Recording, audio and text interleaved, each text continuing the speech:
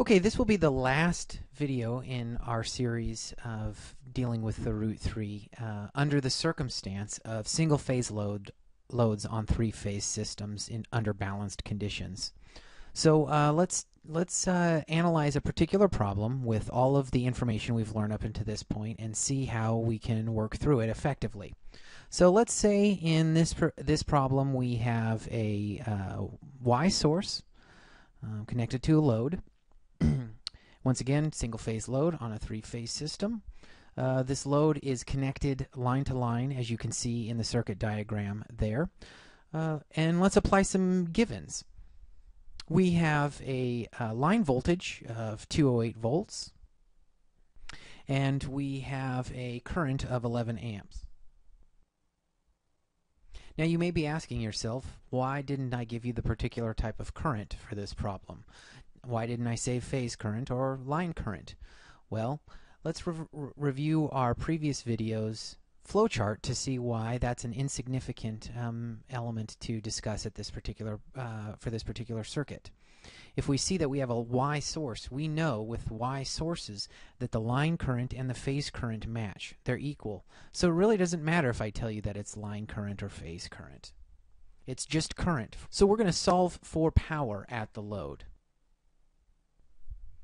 So moving along our flowchart, now that we understand the current is um, under, is understood, we need to ask ourselves, uh, what is the nature of this load? We can see in the circuit diagram that it is a line-to-line -line connected. It is not line to neutral. So we need to ask ourselves then the question, is the voltage that we have been supplied with matching the connection type of the load? If you see we have line voltage, and our load is connected line to line, not connected line to neutral. So that means we do have a yes.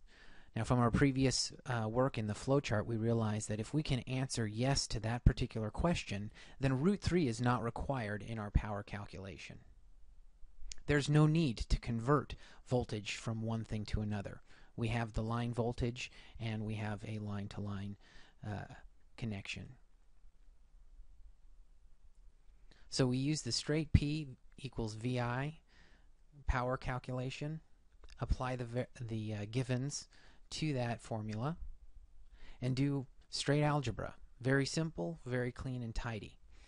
We end up with this um, amount at the end. The big thing to recognize here is, did you realize as you were looking at this problem that root 3 was, would not be involved? it's just as important to know when to use the root 3 as when not to use the root 3.